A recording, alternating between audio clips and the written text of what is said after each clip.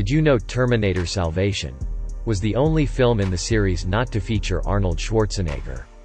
He was unavailable due to his commitment as the governor of California at the time. Instead, bodybuilder Roland Kickinger was used for the T-800's brief appearance.